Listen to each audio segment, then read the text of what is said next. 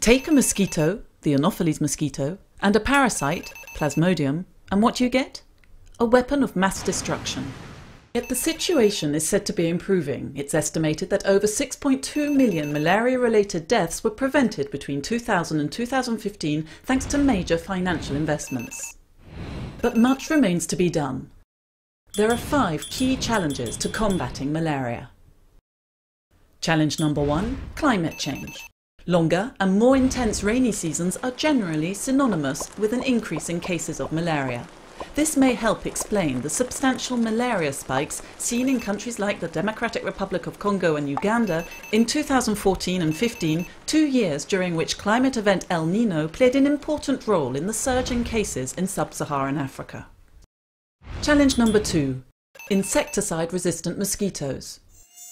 Vector control efforts are a crucial component of malaria control strategies and include the use of insecticide-treated mosquito nets for personal protection. According to the World Health Organization, half of the population of Africa have access to them. However, they are now becoming less effective as mosquitoes become increasingly resistant to insecticides. As it is also important to implement strategies to prevent mosquitoes breeding and spreading, this year MSF launched an insecticide spraying operation in Chad in 22,000 homes in the Moissala region. Challenge number three, chemoprevention.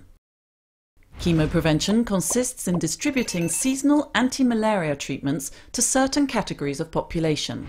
This preventive treatment helps to reduce malaria by as much as 30% among pregnant women and babies. During the malaria peak, chemoprevention administered to children between the ages of 3 months and 5 years reduces cases of simple malaria by 80% and severe cases by 70%. Challenge number four, anti-malarial treatments. Used widely since the beginning of the 2000s, artemisinin-based treatments have gradually replaced now ineffective drugs, resulting in a spectacular decrease in malaria cases and improved patients' adherence to treatment.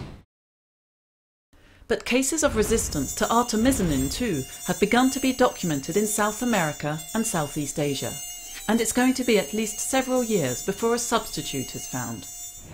Fifth and final challenge, a vaccine.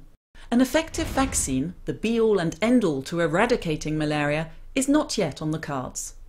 The one vaccine currently available is of limited effectiveness against severe forms of the disease. It also requires four doses with long intervals between each one making it almost impossible to use in the field. Only the development of an effective, affordable and easy to use vaccine will constitute significant progress in controlling one of the primary child killer diseases. Combating malaria requires rising to these challenges and adapting to different environments. A combination of patient treatment, mosquito control and chemoprevention, along with improved living conditions, has resulted in the eradication of malaria in several countries of Europe and the Americas.